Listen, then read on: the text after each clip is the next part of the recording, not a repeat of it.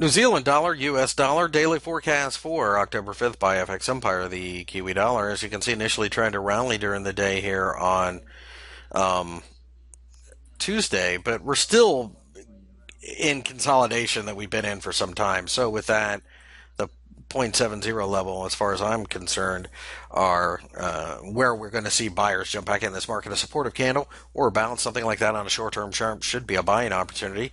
I have no interest in selling this market. This is one that I believe um, just is going to stay in this range. Tell me how you feel about the Kiwi in the comment section below.